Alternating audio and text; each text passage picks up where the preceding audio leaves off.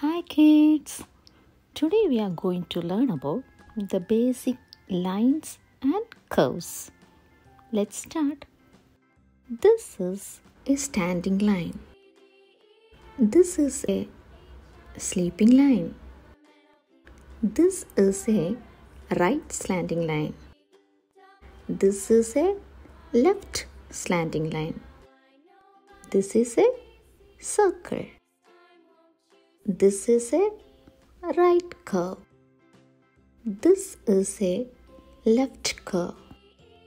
This is a up curve. And this is a down curve.